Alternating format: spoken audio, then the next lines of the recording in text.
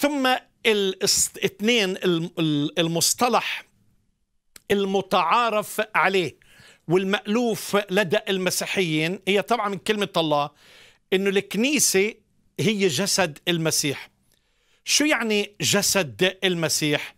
يعني أصبحنا أعضاء يعني عظم من عظمه ولحم من لحمه وهو مكتوب فإذ اشترك في اللحم والدم اشترك فيهما.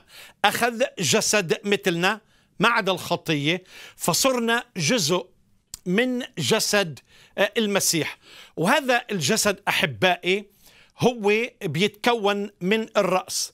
والرأس كما يقول الكتاب المقدس بكل وضوح أنه الرأس هو يسوع المسيح.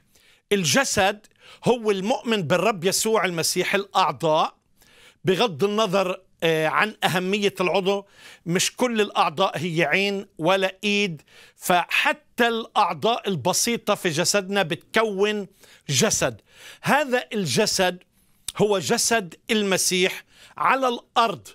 هذا الجسد يعني راسنا في السماء لأنه المسيح هو الرأس يعني عايشين في السماويات لكن إحنا على الأرض منقوم في كل المهام وكل الأمور الله است... يعني استأمنا واستثمر فينا إنه نخدم شعب الرب على هذه الأرض ونكون طبعا نور لهذا الشعب.